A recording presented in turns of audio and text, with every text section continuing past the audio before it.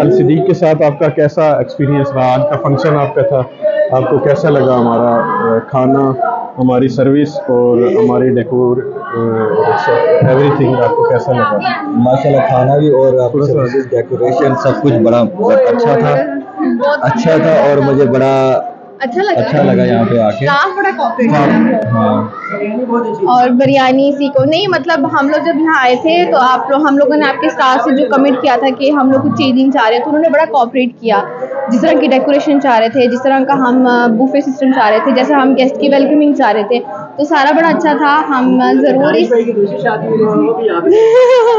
अल्लाह ना करे वो नहीं करवाऊँगी मैं लेकिन ये है कि हम ज़रूर ज़रूर ज़रूर रिकमेंड करेंगे जो हमारे फ्रेंड्स हैं हम उनको ज़रूर रिकमेंड करेंगे। खाना बहुत ज़बरदस्त था।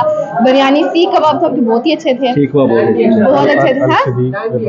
टाइम भी उन्होंने एक्स्ट्रा दिया टाइम भी बहुत अच्छा दिया। अ, अल सदीक शादी हॉल ये सिक्स रोड पर है और हम इंशाल्लाह ज़रूर रिकमेंड करेंगे। बहुत अच्छा thank you so much thank you so much